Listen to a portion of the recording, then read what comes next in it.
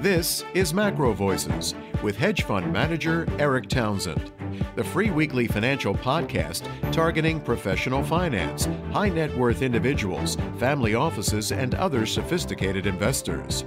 Macro Voices is all about the brightest minds in the world of finance and macroeconomics telling it like it is, bullish or bearish, no holds barred. Now, here are your hosts, Erik Townsend and Patrick Ceresna. Macro Voices episode 272 was recorded on May 20, 2021. I'm Erik Townsend. This episode is brought to you by Abaxx Technologies, pioneering the design of smarter markets that better meet the needs of both market participants and society as a whole, and by Freelancer.com, the internet's premier website for putting independent freelance contractors in touch with employers who need their services. Our search for credible deflationists continues, with David Rosenberg returning as this week's feature interview guest. Rosie will explain why he still sees deflation as the governing force and why he disagrees with the suddenly all popular inflation narrative.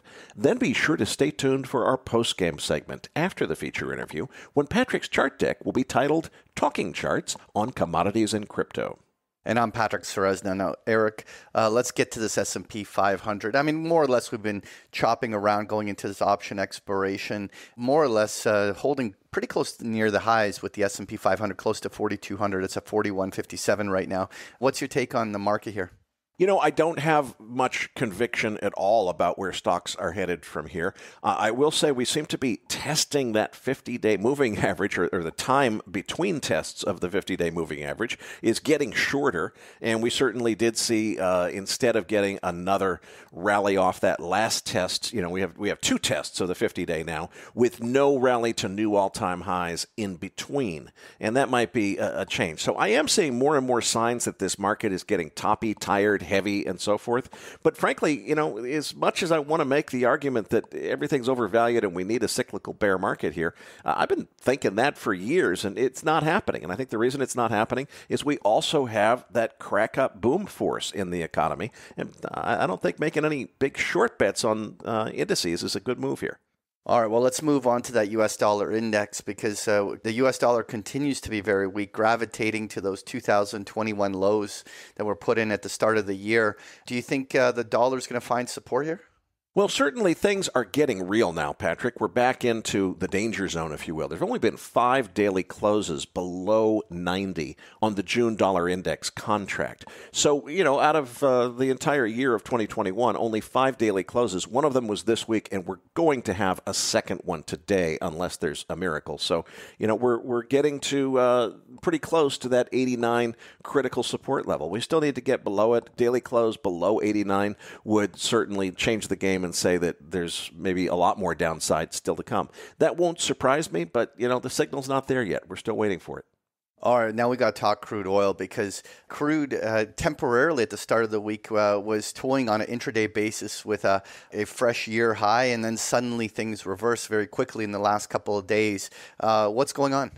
Well, that sudden reversal in the last couple of days is entirely about several different uh, leaked comments from various different officials alluding to the idea that the U.S. sanctions on Iranian oil exports are about to be lifted or under discussion to be lifted.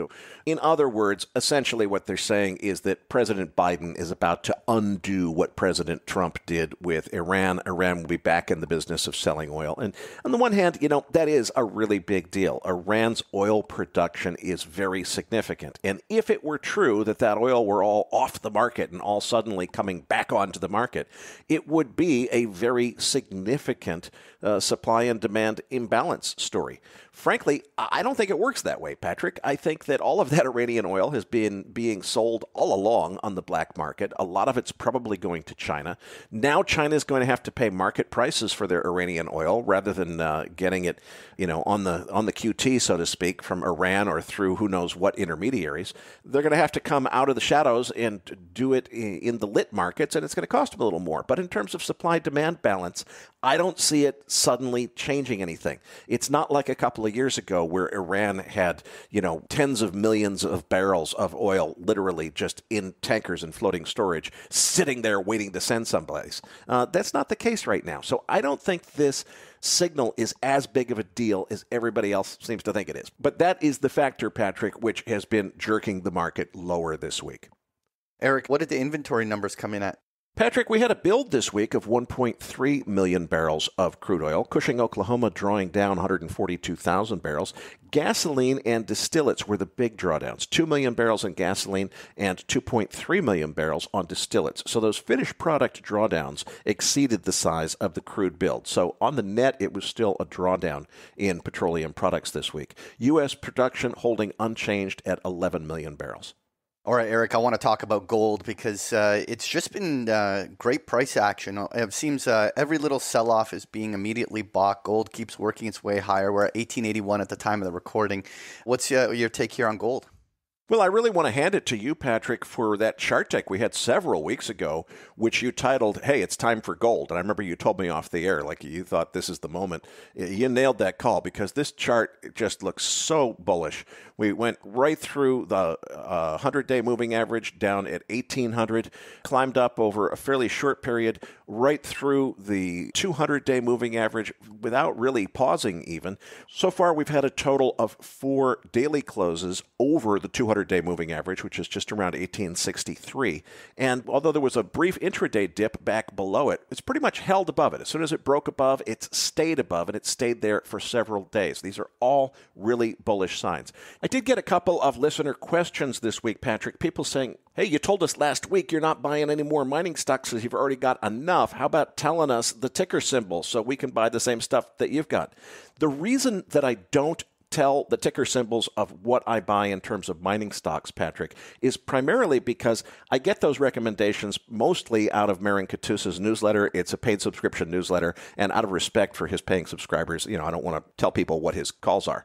But the structure of those deals, also, the reason that I choose those stocks is because Marin negotiates great deals for accredited investors. If you're not an accredited investor and you don't have access to those deals, I'm not sure that the stocks that I've chosen, because of the special deals I was able to get through Marin, are really you know, even the best stocks for people who aren't buying them that way. So that's the reason that I don't give any ticker symbols. All right, Erik, let's get to that 10 year Treasury yield because uh, I really thought that uh, that high inflation print, uh, if there was ever a catalyst that could drive yields uh, to a, a, fresh year high, that would have been it. And instead, more or less, uh, we've been muddled. I mean, we're at one spot six three on the uh, the 10 year yield, and doesn't seem like bonds want to go anywhere. What's your take on the price action over the last week? Well, Patrick, I'm going to qualify this to say I don't have really strong conviction. You know, don't blame me if I get it completely wrong. But the way I feel about this is I think people were really starting to freak out and think, oh my gosh, you know, the, the big secular trend in secular bond bear market has begun. The sky is falling, the, the world is ending. Look, at the end of World War II, when rates bottomed and turned up again, there was a decade between bottomed and turned up again before they meaningfully started to, to turn up. I think it's going to be a long, long time before we have 5% plus treasury yields. And uh, I think that people were starting to freak out about that. Seems like everybody's calmed down and the scare is over, but I wouldn't be surprised if we just test that 1.7 level again on the 10 year if there's another scare, another wave of it. And so let's see what happens. Fear and greed, Patrick. This week's feature interview guest is David Rosenberg. Now, Erik, why did we get uh, David back on the show this week?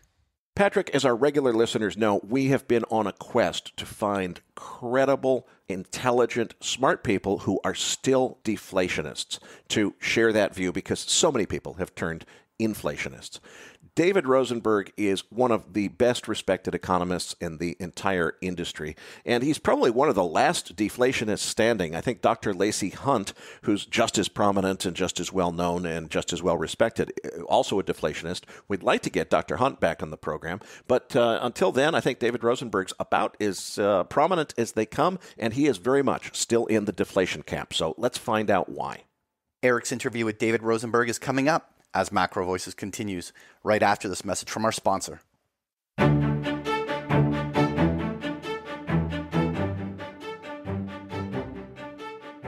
This episode of Macro Voices was made possible by Abaxx Technologies. In addition to sponsoring Macro Voices, Abaxx also produces Smarter Markets, a weekly podcast that airs every Saturday morning on all the major podcast platforms. Smarter Markets brings together the leading minds in macroeconomics, technology, and commodities to explore how capital markets can be redesigned to better serve market participants and society as a whole. The third and final episode in Todd Buchholz's three part series, Crossing the Bridge to Renewable Energy, is available now and features an in depth interview with Josh Crumb, founder and CEO of Abaxx Technologies. Michelle Dennedy will be back in the host chair on Saturday morning to chat with Gajen Kandiah, CEO of Hitachi Vantara. But you won't get Smarter Markets on your Macro Voices feed. You have to subscribe separately to Smarter Markets in your podcast app to listen to this free podcast.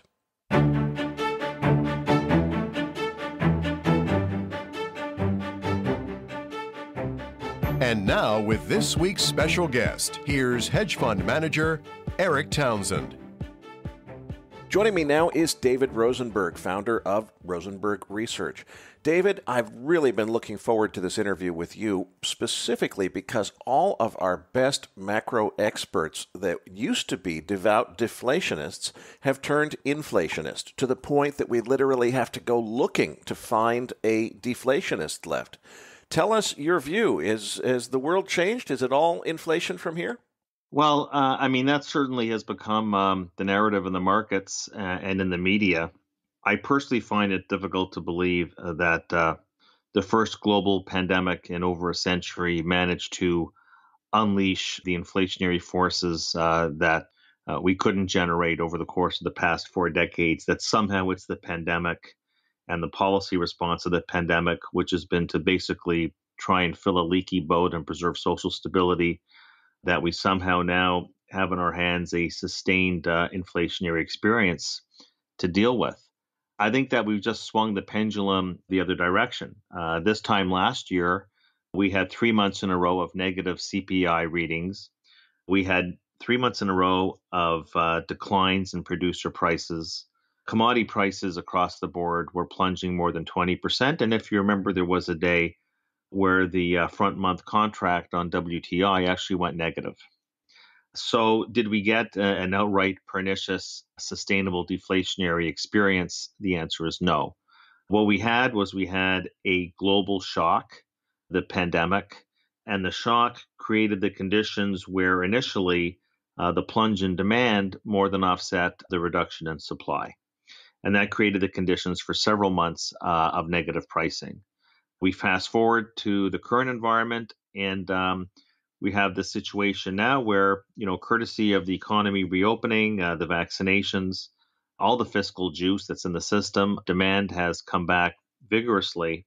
And at the same time, uh, the supply side uh, has lagged behind. So we have this disconnect right now in the opposite direction between supply chains and demand. And it is creating, I mean, nobody in their right mind could tell you that we don't have inflation right now inflation in the sense that we do have a temporary period where pricing is uh, accelerating in, in, several of the COVID related sectors and in parts of uh, durable consumer goods um, where there are shortages.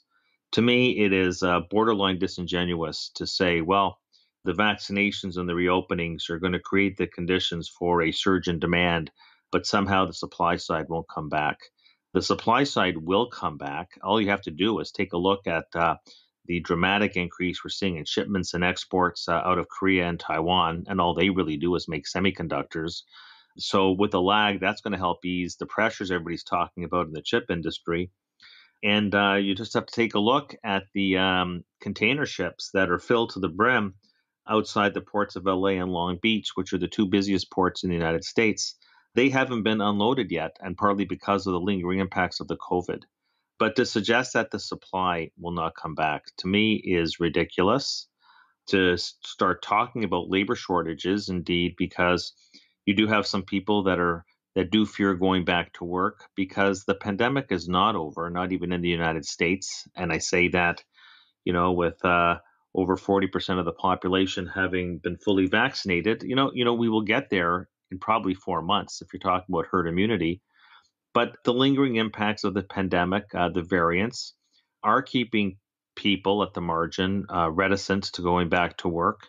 And of course, we have these extended, extremely generous jobless benefits that are paying people more to stay at home than to go back to their old job.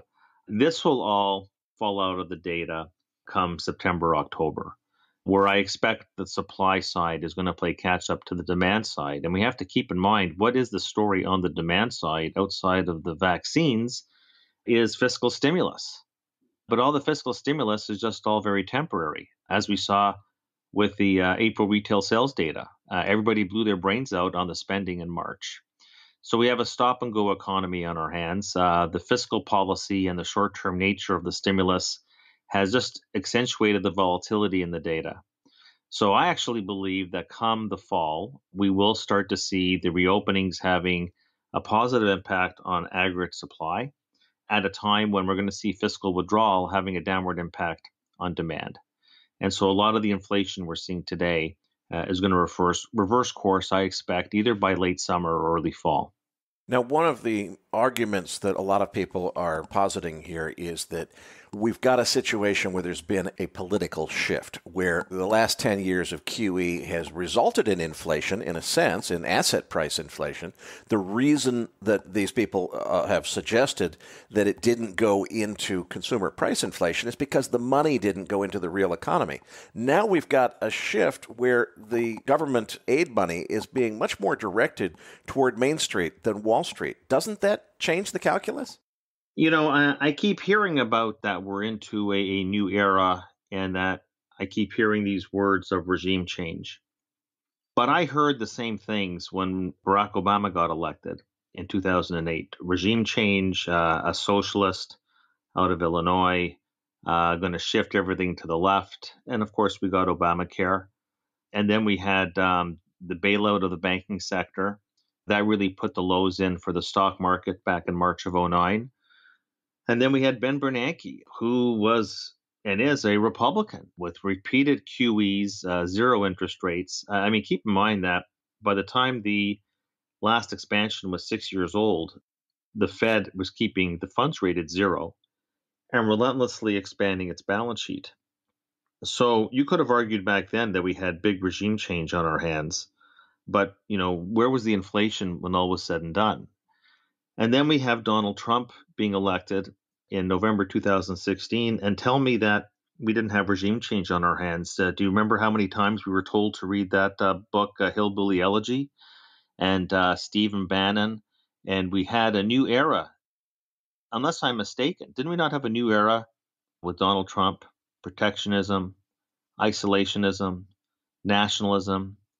In Donald Trump's inaugural speech in January of 2017, he used the word protection nine times. And he surely went ahead with uh, trade barriers and tariffs and restricted immigration. And so, uh, where was the inflation? Where was the inflation? You know, I remember everybody talking about inflation after Donald Trump got elected. And we're going to have fiscal reflation because, of course, he cut taxes and uh, ultimately took the deficit up to a trillion dollars by the end of the last cycle. And a trillion dollars, I guess, at that point, we, we viewed as a pretty big number. So you know, I, I, hear regime change all the time. Whenever we get a political shift, we get regime change. If I'm not mistaken, we were supposed to have regime change all the way back with Bill Clinton back in 1992. What happened to that regime change? So, you know, look, I made my living in a career out of fading, uh, you know, just the uh, the phraseology that comes out. Where where where, where is this regime change? Uh, you know, we were talking about that we didn't have trickle down all the gains in the stock market, the real estate market but someone's got to explain to me how it is that, you know, Donald Trump didn't get reelected more because of character and personality issues than it had to do with how he handled the economy. Because his his approval rating on the economy right till the bitter end was his strongest point. So where does this come out that about the um, you know the haves and the have-nots and uh, there was no trickle down? you know, when month in, month out, towards the end of his presidency, all Donald Trump talked about was how the unemployment rate for African Americans and for Hispanics and for Asian, like for all minority groups, youth, women, they all went to historic lows, all time lows. And the reality is that the data are where the data are. Those were areas where he was actually correct. We went into this pandemic, if you don't mind me saying so, And I throw the question back with unemployment rates among minority groups and the youth and women, the lowest levels on record. So explain to me again what was broken. We had a 10 year economic cycle, and uh, we had the lowest unemployment rate of 3.5% in 50 years. And uh, at the peak, inflation was barely more than 2%.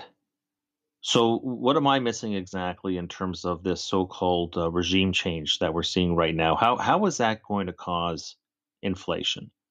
So, you get these people out there and uh, these are smart people. Uh, they're economists. These are people I know, many I'm, I'm friends with, who will tell you, well, look at the money supply numbers.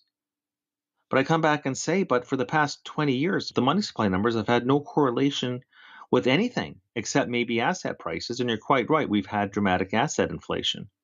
Well, look, there's there's different ways, even regulatory, uh, that we can deal with that if that's a big problem. But you cannot predict inflation with just the money supply because you have to take a look at money velocity. And money velocity has been contracting for decades because we're choking on too much debt and it has impaired the credit multiplier. So I don't see that that's changed. Money supply against money velocity is not leading right now to an inflationary conclusion. Oh, people are now saying, well, look at wages. Look at all these companies announcing wage increases. And of course, to lure these people that work in the consumer cyclical industries, whether it's restaurants or in the hotel business or theme parks. You know, once again, a little history goes a long way. I remember back after Trump cut taxes on the corporate side and allowed companies to repatriate tax free their earnings from abroad back home, and every all these companies. I listed 20 of them in my morning note the other day. Uh, 4% of the corporate sector announced wage and bonus increases back in in early 2018. Some bellwether companies too. So where was the big inflation coming out of that? And now all of a sudden, you can't read a headline without some company raising wages. But where is that really inflationary? How do you just basically say wages go up, inflation goes up when you know, as an economist, that it's unit labor cost, it's productivity adjusted wages that will drive inflation. That was the 1970s. The 1970s wasn't that wages went up 10% a year. It's that wages went up 10% a year in a decade where productivity was stagnant. So here we have a situation which nobody talks about what's really important, which is that we just got last week a first quarter productivity number that's showing that that productivity is running over a 4% annual rate. Now, whether that's a secular or structural change, I'm not sure. But you know, everybody talks about regime change in an inflationary way, but nobody talks about the fact that in the weakest year for the US economy since 1946, it was the best year for productivity in a decade. Companies actually realized for all the lamenting of shortages and job shortages and job shortages and job shortages, the reality is that the corporate sector actually had its best productivity performance in a decade in the same year that we had the worst year for employment since the 1930s. But we had the numbers for the first quarter and passed the eye of the storm for the pandemic. And productivity, even with employment coming back, we had a situation with over, over 60% of the jobs that were lost have come back. And yet, even with that, productivity is running over 4%. Now, it's hard to really judge whether that's noise or whether that's a fundamental shift. But let me just tell you that if you have productivity running over 4%, and let's say that that's what the data are showing right now, you could have wages running at 5%. And they're not even running at 5% yet. And you still wouldn't get the inflation. Because what drives the inflation is productivity adjusted wages, not nominal wages on their own. And I can't believe how many people can't wrap that simple economic theory around their head. And so they come out and say, well, you know, ah, look at the fiscal stimulus, all the fiscal stimulus. Yes, indeed, we have rampant deficits. But you can't take a look at the overall inflation and interest rates without looking at national savings. This is the problem people had in Japan, who basically paved more riverbeds and built more bridges to nowhere in the name of fiscal stimulus than Japan, where they've had blowout fiscal deficits for 20 years. And yet, look what interest rates and inflation have done there because nobody pays attention to what's happened with private sector savings, which has been an offset to the D savings in the public sector. So everybody's taking this very uh, myopic and narrow view on what drives inflation and what drives interest rates. So you can't look at fiscal policy without looking at the context of what's happening in the household sector and in the business sector. You look at the business sector, there's been a negative financing gap of over $100 billion in the past year. Companies, and there was an article on this on the front page of the Wall Street Journal the other day, and how companies are, are retaining cash on their balance sheet. Okay, so in taking a look at retained earnings, you're taking a look at corporate cash flows, and taking a look at capital spending intentions, there's no signs here that the corporate sector is doing anything but raising its de facto savings rate. And what about the household sector? Everybody's talking about, well, look at this 30% personal savings rate that's out there. That's dry powder for future spending. Well, I don't know. That didn't work so well with April retail sales, did it? It didn't. And so we don't know where the personal savings rate is going to end up. What we do know, and the New York Fed has done the work for us, is the New York Fed has shown that only one quarter of this these stimulus checks, and there's been three rounds so far dating back to last year, have gone into the real economy.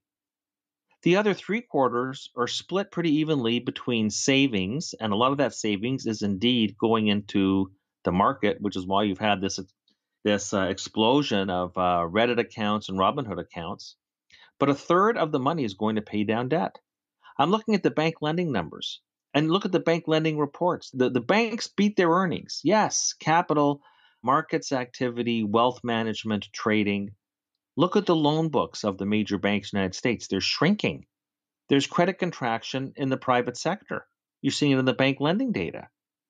So, so you, what I'm saying is that you have to take a real holistic view. Inflation, as is the case with most broad economic variables, it's very complex but I'm just finding people are either doing partial equilibrium analysis or they're just taking a very narrow view to what ultimately is going to drive inflation down the road. We have tremendous distortions and disturbances in the data. I mean, take a look at what happened in the April CPI numbers. I mean, come on.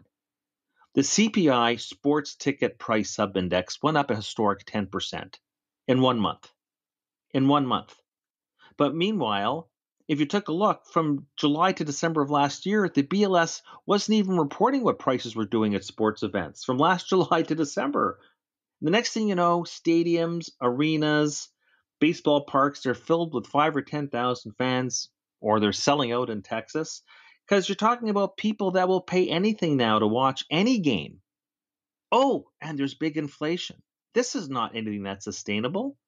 You had uh, what you had a 10% surge in in airfares. Yes, they've cut capacity. People are dying to fly. Are you going to tell me like in six months the airlines are going to be raising prices 10% again? This is a this is the one area I do agree with Jay Powell. There is tremendous noise and disturbance and dislocation in all the data right now because guess what?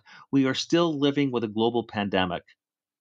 And there's all sorts of offsets between the reopenings and the vaccines and with fiscal policy, which is very short term in nature. And I'll just hazard to say that this time last year, we're talking about deflation.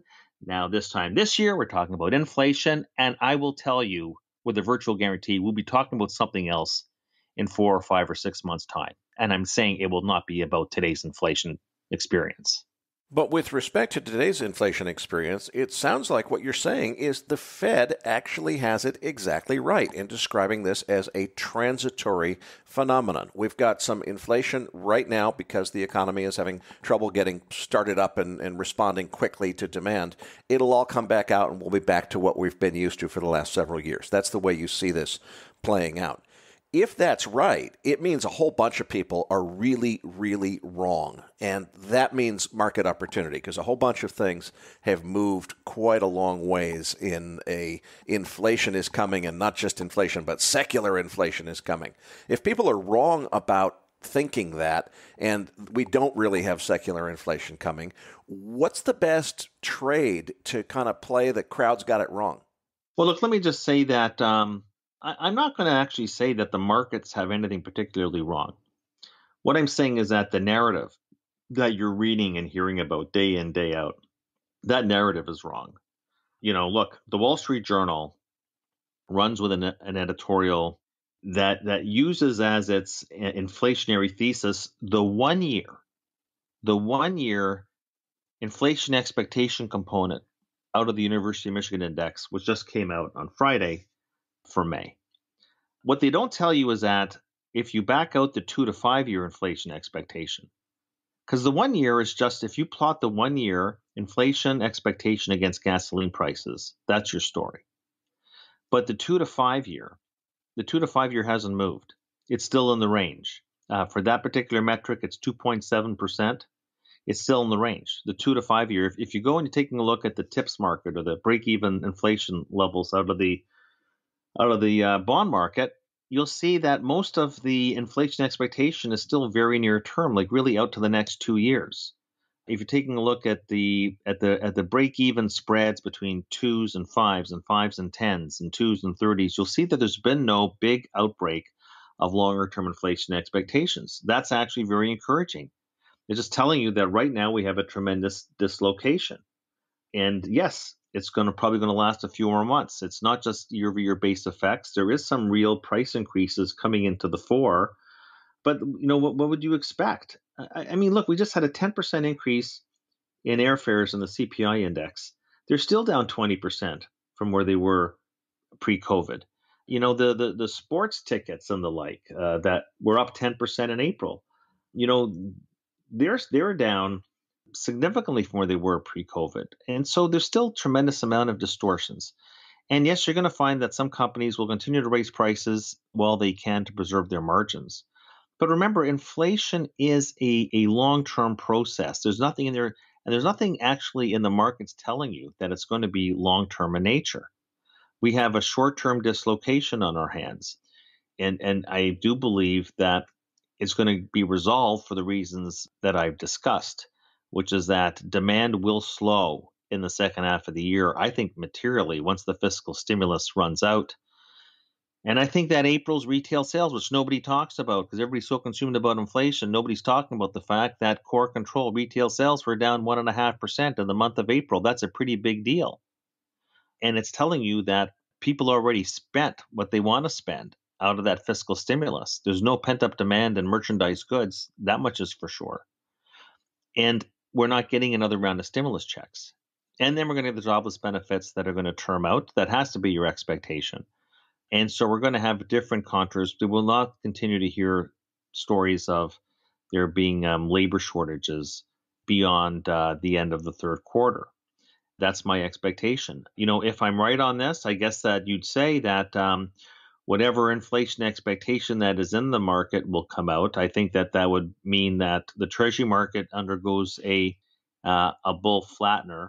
And I'll just say this much, you know, uh, it's interesting that you know that when I'm taking a look at the Cleveland Fed's uh, five-year inflation expectation measure. So the Cleveland Fed actually has a model. What's the model for TIPS break evens? It's not a model, it's just a residual, and it's correlated to the CRB index. And that's all people in the markets look at for their inflation view as they look at the CRB index. And so you've got these measures, say, uh, in the uh, TIPS area that are at least uh, call it roughly 2.5% for inflation expectations in the bond market. The Cleveland Fed's five year inflation expectation measure is actually 1.48. It was 1.37 in March, so it's not as if it stayed static. But you see that the Cleveland Fed actually has a model. And I've actually found that their numbers actually do have at least some correlation with the labor market. There is no correlation with the labor market in the TIPS break evens. It's all the CRB index. So when you're asking me how to be positioned, look, if if the break even inflation expectation metrics in the treasury market converge on the Cleveland Fed's inflation expectation measure, you know, you'd be talking about um, at least a 25% total return in the long bond in the next 12 months. If the convergence happens that the market ends up gravitating towards where the Cleveland Fed is, keeping in mind that the Cleveland Fed's model is a real model. Okay. I'd say that if I'm right on this call, you know, because a lot of it is premised on the economy slowing down. You, you know, nobody talks about the fact that the Citigroup Economic Surprise Index today just hit the lowest level in 11 months. Okay. Did you know that? I didn't know that. I don't think anybody knows that. Nobody knows that. Well, because why? Because everybody has inflation on the brain. But inflation is really all about a supply and demand curve aggregate demand, aggregate supply. And we have supply constraints right now. Inflation is going to rise near term. It already has.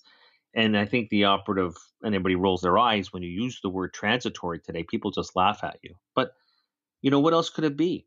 Demand is going, we, we, we borrowed so much growth from the future with these rolling temporary fiscal stimulus packages. We just borrowed all this growth from the future. Look, we just hit, we just hit a million units on new home sales in the month of March. Well, I got news for you. We built, we, you know, they're up 60% year on year. Now you'll say, well, that's coming off a really depressed numbers in 2020. That much is true. But even if you corrected for that, so you know, people talk about, well, you know, housing. Uh, there's shortages here. Uh, shortages. They talk about shortages of labor in housing. Meanwhile, residential construction employment in March and April together were up over 30,000. It's just, I just finding people are just making things up. The reality is that we have no pent up demand. Uh, autos, 18.5 million units. When you hit 18.5 million units in any cycle in the past, that is peak autos. They are down substantially in the next six, six to 12 months. Home sales, like I said, over a million units. Last time we were there was in the summer of 2006. Home sales were down 30% in the next 12 months. Housing starts were down 20%. So it's very interesting to me that um, we don't have pent up demand for the things that normally carry the expansion through the through the recovery phase. This is how unusual. We're relying on demand in um, to come back with the reopening in airlines and restaurants and theme parks and movie houses. And basically, we're talking about 4% of GDP is where this V shaped recovery is going to come. But at the same time, because we have no pent up demand in durable goods, which is a $2 trillion business, that I think is what people are going to be surprised at how weak demand is going to be once we see the emperor disrobed, when I say the emperor disrobed, I mean that this economy has been medicated so many times in fiscal stimulus. What happens when you take the candy away? And Joe Manchin has already said, and there's no more important person in Washington than Joe Manchin has already said he's not signing on. He is not signing on to more stimulus checks, especially to people that don't need them, which is how this fiscal policy has been constructed. You're talking to me about haves and have nots and about inequalities. And here you have the Biden. And this is the irony. This is the irony is is Joe Biden has only exacerbated those inequalities by giving fiscal stimulus, by stimulus checks to people that don't need it.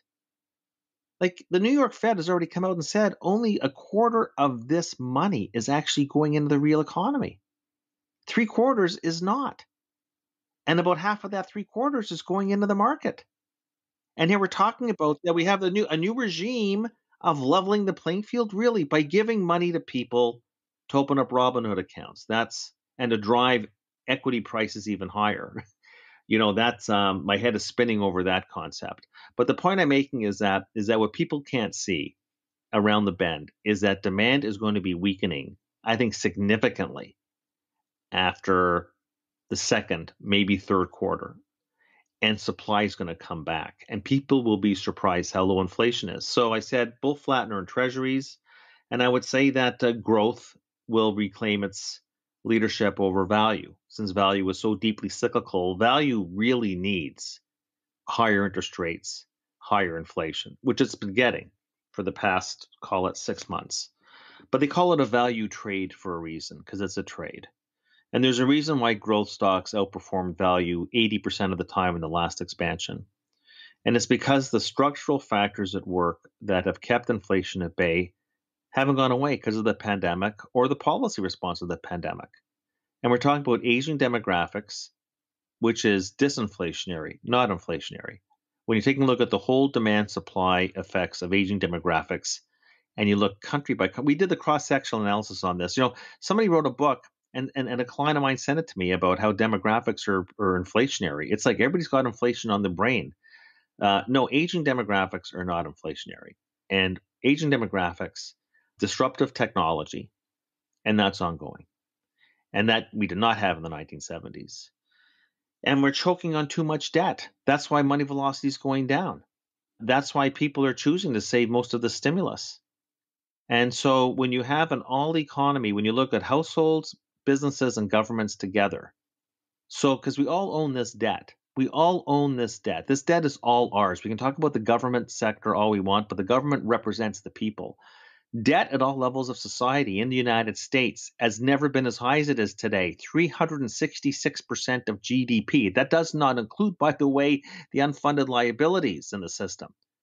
366% of GDP. I cannot believe how people are not alarmed at that number. It's up 40 percentage points in the past year. Well, of course, we had to fight a pandemic, but you see, we've never had a year where that ratio went up 40 percentage points. But if you notice in the past 40 years, we peak at a new debt ratio, and yet inflation is peaking at lower and lower levels. Bond yields peaking at lower and lower levels because this is a tourniquet. This is the most pervasive constraint on aggregate demand in the future is the grotesque level of debt we have on our hands right now. Now, people will say, oh, but we can afford the debt because interest rates are low. Yes, of course. That's exactly the story. Interest rates can't rise with that level of debt without sending the economy back into a destabilizing recession. David, I'm still having a hard time understanding what seems to me like a dichotomy here because, on one hand, you're saying something which I agree with very much, which is the Biden administration should not be paying people to stay home and not work. And that is what they're doing. But wait a minute. That's the reason I think we do have a inflationary impulse here is specifically because the government is paying people to to not work and and you're, you're losing supply of labor to people who are collecting a stimulus check. How how is it that I get a conclusion that's inflationary and you don't? I feel like I'm missing something. Well, because uh, it's more to do with our time frame. So if you're going to tell me that the Biden team has taken out blank number of people permanently out of the labor market, I'd say, uncle, I submit. But that's not the case, right? Like these extended benefits end in early September. So the answer to your question is yes, that's part of the temporary supply constraint. Uh, well, the Biden team turned this into a UBI, a universal basic income. Well, let's wait and see for that to happen.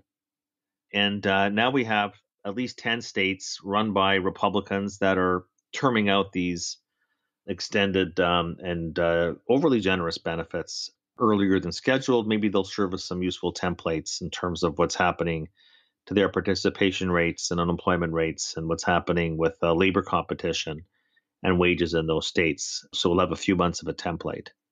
But it's what I'm saying, I never said to you that we're not going through a uh, a, a short term dislocation, and part of that is the policy response. But I said at the very beginning of the show that we had three months of outright pernicious deflation a year ago. Did it last? Why didn't it last? Was every was everything permanent? It wasn't permanent. You know, we found out that actually the COVID nineteen was not the bubonic plague. It was not the bubonic plague that this is not going to be a repeat of the Spanish flu that killed so many other people and young people in 1918, 1919. And then we had the vaccinations, which was a huge game changer, obviously. So, if the deflation a year ago wasn't permanent, why do you think that the inflation we're seeing right now is going to be permanent? That's what I'm saying. I'm not saying, I mean, I do have two eyes. I do see what's happening in, in front of me, but I guess it comes down to your question before I'm not the least bit embarrassed. And believe me, I have I have disagreed with Jay Powell and his tenure more than I've agreed with him. I probably agreed with him a lot more, you know, when he was governor than when he took. But then when you take the the reins at the Fed, you become somewhat of a politician. Be that as it may, I think that the Fed has got the narrative right. I think that they've done a stellar job actually in their communication skills I'd actually, if I was Jay Powell at the next press conference after the meeting, I would wheel out a blackboard and explain to people what inflation truly is. And inflation is not four months of accelerating prices or wages. That's not what it is. Would you say that Paul Volcker was a big inflationist? Would you say that he was? Uh, I would not say that. I don't think anybody would, right? But what if I told you that the price level in his seven years at the helm of the Fed, the price level, the CPI under the inflation dragon slayer, the CPI went up 60%. Has your mind changed about Paul Volcker? The price level went up 60% under his tenure. No, because the rate of inflation, the second derivative, because inflation is a process that went from 12% down to 4. The inflation rate went from 12 to 4, and he's viewed as the world's most significant inflation dragon slayer of all time, but the price level went up 60%. But how can you not call that inflation? But he's the inflation dragon slayer. Well, you asked before about an anomaly. Is that not an anomaly? It's not because the inflation rate went down. And uh, Ben Bernanke, who tried to create more inflation than Ben Bernanke, his helicopter, his, his nickname is Helicopter Ben. He was at the Fed, at the helm of the Fed for eight years. And did you know that in his tenure, uh, the price level went up like 15%? It went up a fraction of what it did under Volcker. Volcker tried to create disinflation and he got it, even though the price level rose. Who tried harder? I mean, you talk about regime change. I mean, I'm asking you once again rhetorically. There was no regime change with Ben Bernanke. Who even knew what QE was before 2008? I was at Merrill Lynch back then. I had to do teaching lessons on QE. And they didn't just stop at one QE and ZIRP, zero rates. And and so that wasn't regime quantitative easing wasn't regime change. And where was the inflation? Well, all the structural factors I was talking about, which have gone even more disinflationary, acted as a massive offset to anything we ever saw cyclical. I will come back again. You know, the the optimist and the pessimist meet for a cup of coffee, and uh, the optimist says to the pessimist, you know, things can't possibly get any better. And the pessimist says, you know what? I think you're right. So I guess somebody's got to explain to me that if we, how it is, how it is that we got to a three and a half percent unemployment rate by early 2020 and late 2019. Lowest unemployment rate in 50 years, coming off a 10 year expansion, a five fold increase in the equity market, a booming residential real estate market, and uh, inflation was barely above 2% with a 3.5% unemployment rate. The tightest labor market in 50 years. And the last time we had uh, an unemployment rate that low, the, the inflation rate was more than double where it was this time around. But yet, somehow, because of the pandemic, we just miraculously created, we waved a magic wand that we got a new inflationary experience on our hands. So I'm just saying, how? How is that possible? You're talking to me about temporary dislocations. I'm saying that in reality, we have a U6, the broadest unemployment rate measure is 10.4%. But like I only know my history. And you know what? Maybe maybe it's different this time. Maybe it's different this time. But I know from the past that full employment, a really fully employed economy is when the U6 is at 8%. We're 10.4 oh, but we got some big, big wage inflation coming, big inflation with a 10.4% U6. How does that make any sense to anybody? And then, of course, we have a cap U rate in industry, in manufacturing, that's 74%. 74. But I know historically that metric's got to get to 78 to get real inflation, not four months inflation, four years of inflation. Let's just talk about inflation is not a four month phenomenon. You cannot judge if you're in a bull market or bear market just on four months. Okay. So time is every bit as important. Duration is as important to making these calls as magnitude. So I'm trying to say here that, well, boy, when I'm taking a look at the unemployment rate in the labor market and where it usually is when we have meaningful inflation, and I'm taking a look at the unemployment rate in the manufacturing sector, the cap U rate, and where it normally is when we actually get more than just a few months of inflation, but a few years. I get I get that we still have an output gap in this country of over 2% of GDP. And we're already halfway through the biggest fiscal stimulus we've ever seen before with the stimulus checks that looks to have already been spent in the month of April. So what am I missing? What am I missing? How is it? I'm looking at the supply of labor. I'm not talking about what is temporarily held back for reasons due to COVID or the policy response to COVID, I'm looking and I'm seeing the total supply of available labor in the United States is 17 million. Before the pandemic, it was 10 million. We have a labor pool that is 7 million. The delta is 7 million over where it was before the pandemic. But all of a sudden, all of a sudden, we have this radical hitting the wall on labor supply. And I'm there thinking, well, that might be the story right now for a variety of reasons that have temporarily held back this labor supply. But I don't spend my time talking about what's happening right now. I talk about what we'll be talking about six and 12 months down the road. That's how I spend my time because that's what's most important. Because if the markets are forward looking, why would they care about what's happening at this very moment in time? It got priced in already. So I'm saying, yeah, uh, what I see is that uh, we're going to see a supply response and we're going to see a demand slowing that is going to rectify a lot of these imbalances that we're seeing right now in the data, especially the inflation data. You mentioned a bull curve flattener as a potential trade here. I assume that means you don't think that 10 year Treasury yields are going to continue backing up the way some people, you know, some people are afraid we're, we're headed to 5% from here. Uh, where do you see Treasury yields headed?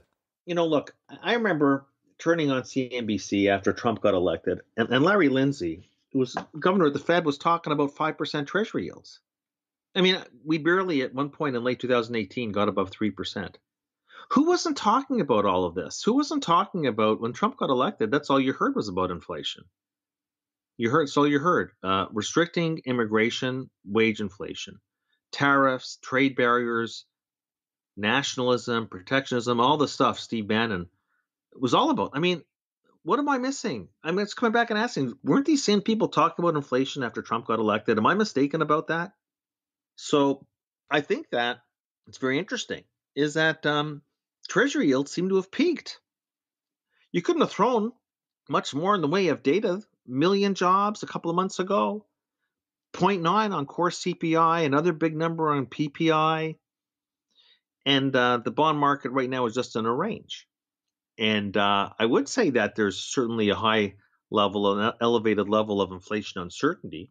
And uh, I think that there will be a premium in the Treasury market until that gets resolved. But you see, I'm saying the inflation uncertainty will get resolved in a certain direction. That I do think that the consensus has gone the other way, but that doesn't.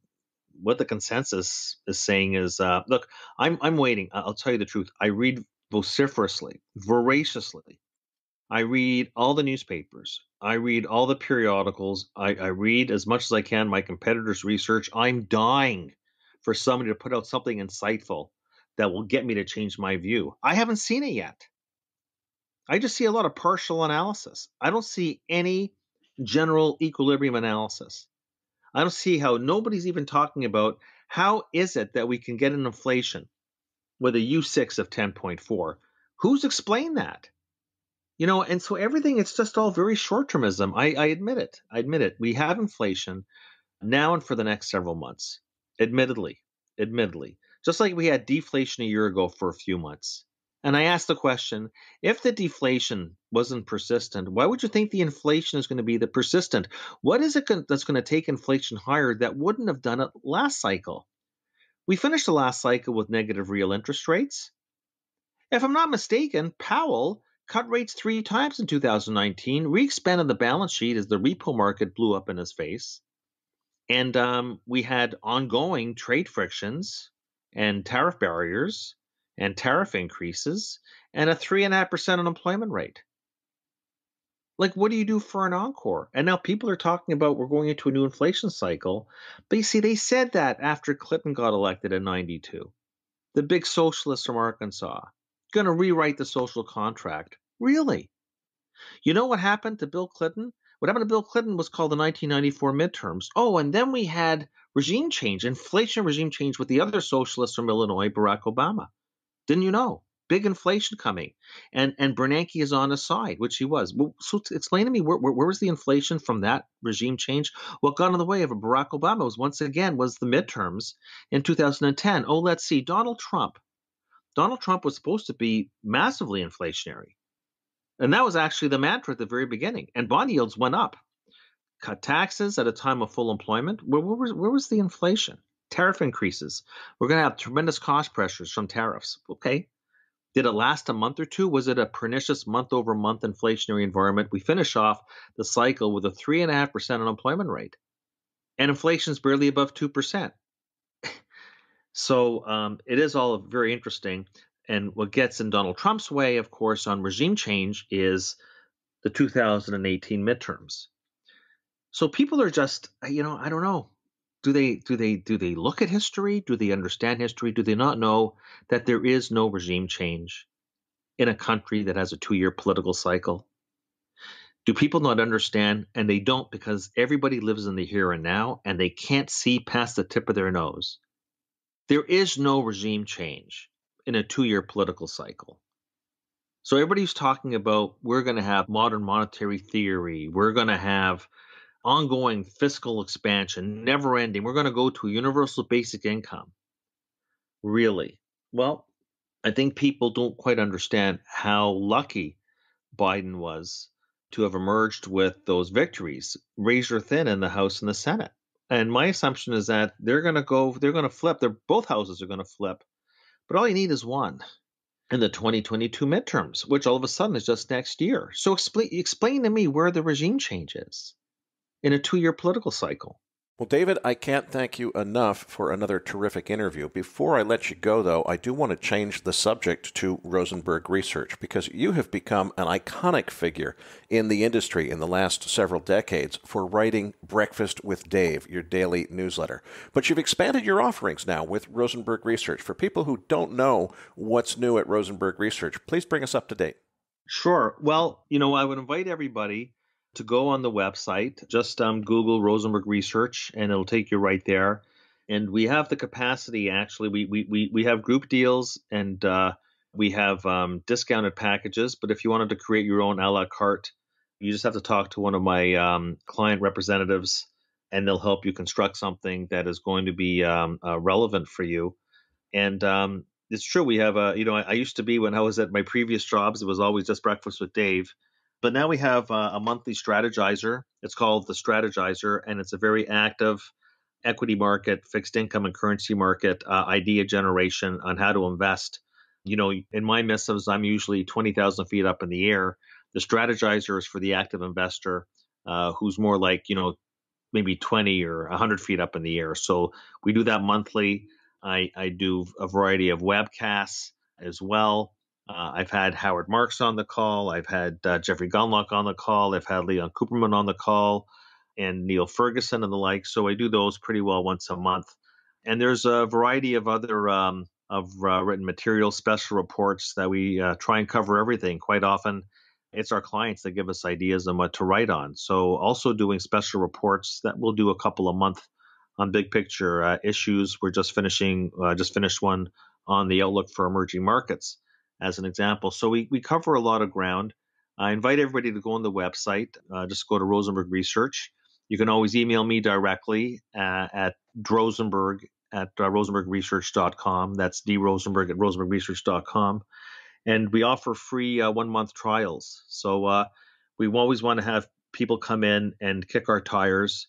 Uh, they can either buy our our basic or premium packages, uh, or quite often just say, no, I, I, like this, that, and the other. Can you mock up what what makes sense that could work? So we also have that custom. But we like everybody to come on, have a full month experience, and then make up their minds. Uh, you know what it is that they would um, that they would like to uh, to purchase. Uh, you know the business has gone great. We we're up to three thousand relationships in forty different countries. So it truly is global in nature, and it's been a lot of fun.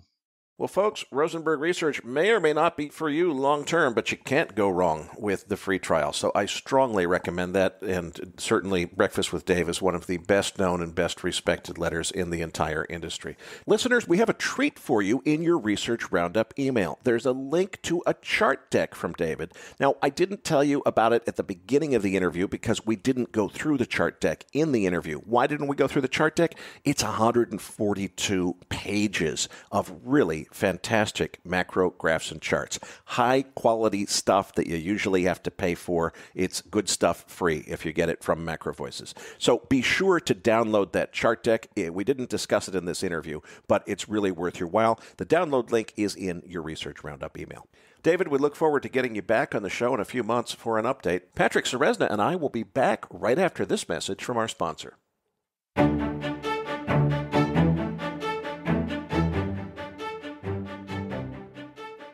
Freelancer.com is the world's largest crowdsourcing marketplace with over 50 million freelancers and 20 million projects posted in 34 languages and 39 currencies. The future of work is now online, and at freelancer.com, you can get any job you can possibly think of done over the internet by a global workforce of skilled freelancers. Whether it be web design, graphic design, software development, writing the copy for this ad, backtesting trading algorithms, or building financial models, no matter what the gravity or complexity of the work, definitely give Freelancer a try. Freelancer.com is used by consumers all the way up to large organizations such as NASA, Airbus, Deloitte, Unilever, Facebook, and IBM. To gain investment exposure to the world of work online, Freelancer.com just listed over the counter under the ticker symbol FLNCF and is listed on the Australian Securities Exchange under ticker FLN.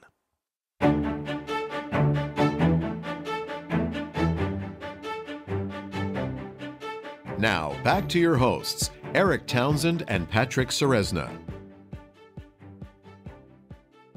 Erik, it was great to have David back on the show, and he certainly put a lot of thoughts in my mind in terms of really whether this is going to be transitory or whether this is a, a, that secular inflation that we were looking at. What did you take away from the interview? Well, I really enjoyed this interview, Patrick, and the reason is, frankly, I have a lot of respect for David Rosenberg. So I do disagree with him. The idea that I don't agree with someone as prominent and intelligent as David Rosenberg really makes me take pause and say, hmm, maybe I ought to reconsider what am I missing here. After listening carefully to David, I understand, I think, exactly where he's coming from. I understand why he's still in the camp that he's in. I understand why I'm in a different camp, and I still think I'm right, frankly. And I think the, the crux of this is what he said at one point in the interview that, look, he's a data driven economist, formally trained economist, and he's going by the data. What I'm talking about is a social change. I perceive a major change in the attitudes of both elected officials and the people electing them. I think that we're moving much more in the direction of socialism and an increased amount of government support and uh, stimulus and support, transfer payments, and so forth. I think that there is a major secular political social change that's going to drive this inflation. And so my prediction of inflation isn't reflected at all in the data yet. I wouldn't expect it to be. When it is, I would expect David Rosenberg to catch up and uh, say, hey, it's right you know, it's just a question. Uh, I'm speculating about something I don't know with any certainty because I've got a really strong opinion about a secular political trend. David's saying, hey, I, I don't go by you know political trends. I go by what the data is telling me. The data is not telling me that inflation is happening now, and he's right. That's not coming till later.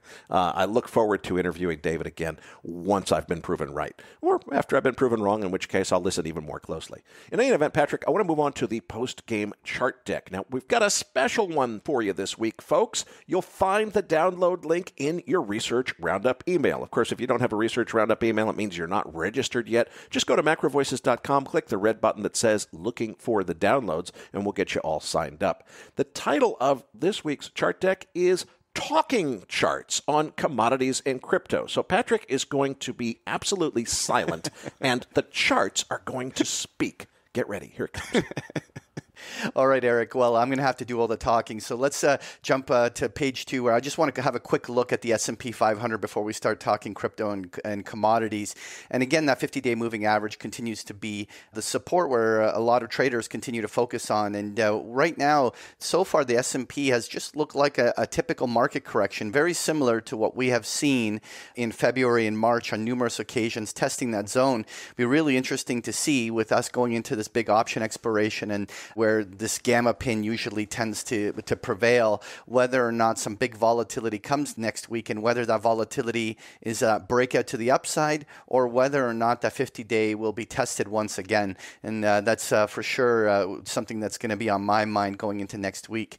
But uh, on uh, page uh, three, I wanted to talk the cryptos and start here with Bitcoin And it was interesting because we both put up those charts last week and talked about uh, the, uh, what's going on in the price action. And the one thing that uh, I was talking about was the fact that that all of the crypto traders needed at this moment for momentum to stay. Like whether uh, you have a strong belief in uh, crypto or not, in order for prices to stay at these elevated levels, they need that positive emotional sentiment that drives that price action and keeps everyone interested. And Bitcoin was suffering from the fact that there was just a lack of real price progress, which uh, usually weans interest in it. And uh, the price action was uh, deteriorating early uh, or late last week. And then uh, this week, suddenly, we obviously get some China headlines and the selling came in pretty hard. This chart now on Bitcoin is some serious technical damage. And overall, there's easily going to be a bounce on Bitcoin that could make it back to 42 or even 45,000. But uh, there's a lot of technical repair work now that the bulls will have to do to turn this chart back up.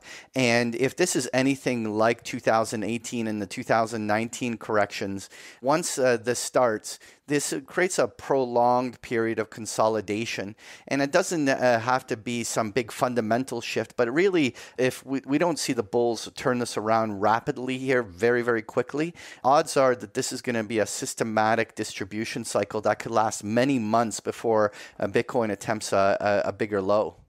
Yeah, I agree with you, Patrick. I would just add that uh, things happen a little faster in cryptocurrency than in the rest of the world. So I wouldn't be surprised if the norms that we usually apply for how long corrections typically take in other markets, I, I think, regardless of whether it's a big down or a little down, I think how long it takes to play out in crypto is going to be shorter eh, than in other markets. And we'll see what happens pretty quickly if that's right. I'm particularly interested to see if we get more weakness in Bitcoin Bitcoin if that leads to further strength in gold, which so far it looks like at least some of the money coming out of the crypto space is going into the gold space. Is that the main thing driving the strength in gold and the weakness in Bitcoin? I have no idea.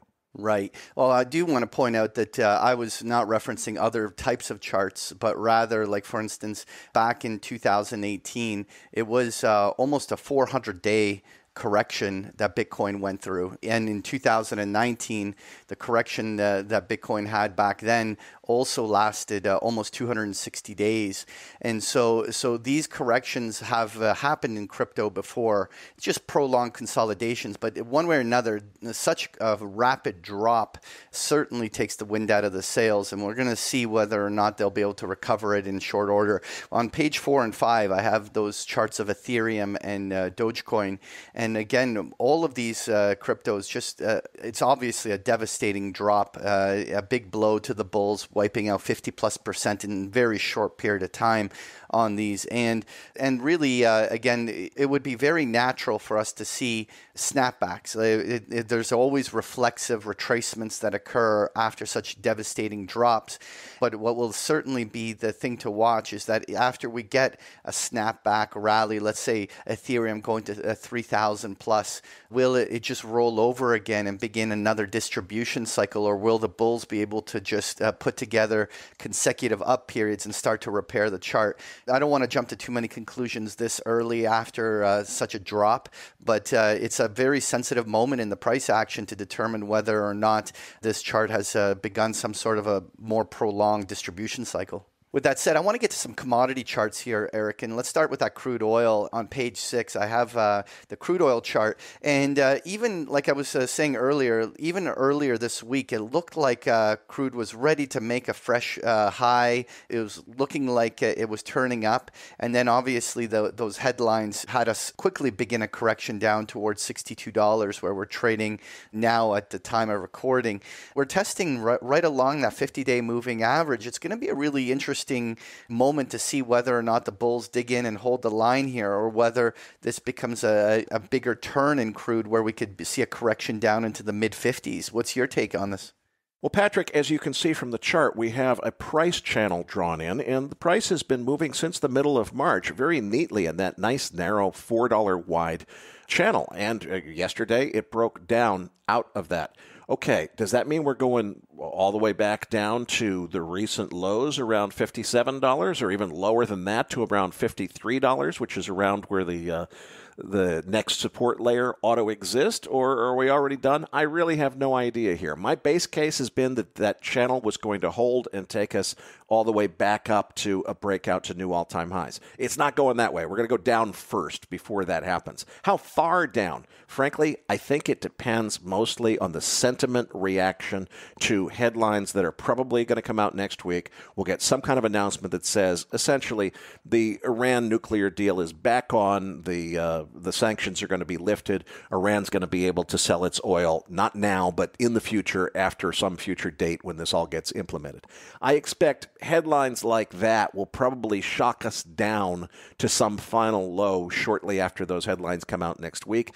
And that's probably a very buyable bottom. And I suspect that the market is going to shrug this all off because I don't think this Iran thing is nearly as important as everybody else seems to. If I'm wrong about that, who, who knows? Maybe we're headed down to 53 bucks. I doubt it. All right, well, let's uh, move on to page seven where I have the chart of gold. And I also kept that 50 day moving average on there just to highlight that, you know, we've now spent uh, almost uh, two months consolidating above the uh, that 50-day moving average. But uh, often that moving average will get tested on pullbacks. And one of the things I just uh, want to highlight is that at any one time we could easily have a 50 60 dollar pullback in in the precious metals and if this is in fact a new bull market those uh, should be all bought on dip and i think that's the one thing that i'm actually waiting for to really confirm that we were right on this call is is that uh, one we want to see what a correction looks like and how quickly the buy on dip traders come in, whether it's uh, very well supported and, and turns back up. And that's definitely the, the thing to watch in my mind. Patrick, lumber futures have really, really just been probably the, the most parabolic chart of any market in this recovery. Uh, what's going on here? Did, did, did we get to, uh, is that a dead cat bounce that we see beginning, or is it actually bottomed and maybe heading to a new high? Yeah, we really saw that parabolic rise in lumber that we just saw uh, us just uh, head right up to those early May highs uh, near 1700. It triggered a, a, a, finally a correction, and a correction that saw us uh, drop a solid $500 in, in uh, literally a week. And we uh, came right down to that 50 day moving average, and that has spurred at least a, a bullish reaction off that low. This is actually the really important moment in lumber in my mind because if lumber manages to muster up a rally back up to the highs, then it means that the bull phase is not over. But uh, any uh, failure here to, to make any progress north of 1500 off of this bounce would give it a lot of price action characteristics similar to what Bitcoin had before it turned. And so it'll be really interesting to see how much gusto the bulls have here and whether they can really start getting it right back to the previous high or whether or not this is going to start topping. Patrick, this is going to be fascinating to watch play out because, frankly, I don't know where this is headed. I can make a strong argument for why I think there's a good chance the final high is not in yet, or the final top is not in. I, I think that what you see here is uh, really an out of control supply chain situation. All of a sudden, it's impossible for builders to get some things. People are freaking out about pandemic risk and wanting to buy new houses and move out of the city and so forth. And you just literally can't buy materials. And if you can buy the materials, then the delivery supply chain is encumbered by COVID. So, I, I, as much as it looks like it's a parabolic top and surely the price can't go any higher than there, I think it probably can. We'll see what happens. Oh, I agree. And uh, it's too early to write off the bulls. I mean, when lumber got so ahead of itself, it was very natural for at some point us to enter some sort of profit taking cycle, something that washed out the, the those that were late to the party. But uh, the jury's out. I think early next week's price action is going to be really important for me to make a, a higher conviction call on what's next for lumber. But I wanted to, uh, to look on pages 9 and 10 where I have a couple of the other commodities, copper and, uh, and corn. And what is interesting to me is that whether uh, like lumber, the grains, and copper all seem to have put in their highs pretty much within a stone's throw of that inflation number that came out. And I thought it was really interesting that, you know, we have this big report of inflation coming in super hot, and suddenly uh, commodities all begin some degree of a correction since that moment. And um, one of the interesting things that I'm watching here is that all of them are just correcting what we would define as a typical mean reverting correction, something that uh, is all above its moving averages, everything that typically in the past has been bought on dip. And uh, it's not just lumber that we're watching. I think the entire commodity complex outside of gold is at a very sensitive moment to, to see whether or not these trends that have been in place since November continue. And that's uh, 100% on my mind. You know, when I'm looking on page nine at that copper chart, well, I mean, it does look just like a correction. But the one thing that, uh, you know, I ask uh, and think about is that I can't find anybody that is actually has a bear argument on copper. This is probably one of the single most consensus trades to be bullish copper out there. And, uh, and the thing is, is that when it's that consensus, that's usually where uh, a trade is very crowded and it doesn't have that much further to go because simply everyone's already fully in. Uh, it'll be interesting to see whether that, that this very bullish sentiment toward these commodities does in fact mark some sort of uh, an intermediate high versus what we can only confirm as short-term highs right now. Well, Patrick, I certainly could not agree more that I do not know any bearish argument for copper other than it's way too crowded of a trade on the bullish side. That's the only reason. And it's a significant reason to be concerned. The thing is, the fundamental demand argument for copper is so incredibly strong. The bearish arguments uh, that have kept me out of it are exactly what you said, which is, you know, when we got it like $3 or so, and I said, boy, you know, the, the prices, you know, come up so much since the March low. You want to be buying copper around $2, not around $3. You know, I'll wait for the dip. I'll wait for the dip. And we're at prices already where, you know, as we come back down to, let's say we get back down to four spot 40 or so. Um, hey, that's pretty darn close to your 50 day line. It's very tempting. And I, the idea that four spot something is a buy in copper for a medium to long term trade It was unthinkable just a few years ago. But I think that's part of this inflation, and I wouldn't be surprised if it's uh, you know double that before this inflation is over. For those of you who don't want to be left out every step along the way, you can sign up for a free trial of Patrick's service, Big Picture Trading, where you can see chart decks like this from Patrick almost every single day. You'll find the information on page 12 of the chart deck or at bigpicturetrading.com. We're going to leave it there for this week's show. This episode is brought to you by Abaxx Technologies, pioneering the design of smarter markets that better meet the needs of both market participants and society as a whole, and by Freelancer.com, the internet's premier website for putting independent freelance contractors in touch with employers who need their services. Patrick, tell them what's in this week's Research Roundup. This week, you're going to find the transcript for today's interview, as well as a link to David Rosenberg's slides, as well as the chart book we just discussed here in the post game. There was also a link to a Jeffrey Snider article on inflation huge. Jay Powell did blink, but it had nothing to do with the taper, and as well as a link to Jesse Felder's article, An Epic Set of Alligator Jaws. And so you'll find this and so much more in this week's Research Roundup. That does it for this week's episode. We appreciate all the feedback and support we get from our listeners, and we're always looking for suggestions on how we can make the program even better.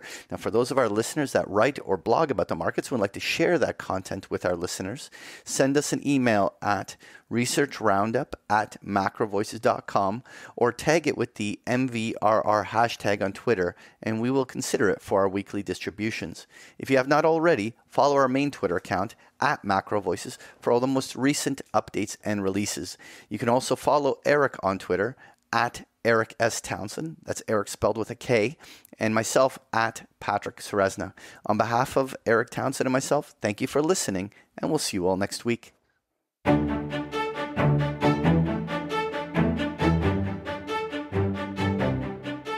That concludes this edition of Macro Voices. Be sure to tune in each week to hear feature interviews with the brightest minds in finance and macroeconomics. Macro Voices is made possible by sponsorship from BigPictureTrading.com, the Internet's premier source of online education for traders. Please visit BigPictureTrading.com for more information. Please register your free account at MacroVoices.com.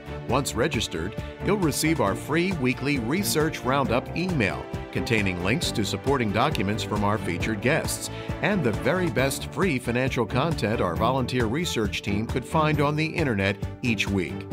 You'll also gain access to our free listener discussion forums and research library. And the more registered users we have, the more we'll be able to recruit high profile feature interview guests for future programs. So please register your free account today at macrovoices.com if you haven't already. You can subscribe to Macro Voices on iTunes to have Macro Voices automatically delivered to your mobile device each week free of charge. You can email questions for the program to mailbag at macrovoices.com, and we'll answer your questions on the air from time to time in our mailbag segment. Macro Voices is presented for informational and entertainment purposes only. The information presented on Macro Voices should not be construed as investment advice. Always consult a licensed investment professional before making investment decisions. The views and opinions expressed on Macro Voices are those of the participants and do not necessarily reflect those of the show's hosts or sponsors. Macro Voices, its producers, sponsors, and hosts Erik Townsend and Patrick Ceresna shall not be liable for losses resulting from investment decisions based on information or viewpoints presented on Macro Voices. Macro Voices is made possible by sponsorship from BigPictureTrading.com and by funding from Fourth Turning Capital Management, LLC. For more information, visit macrovoices.com.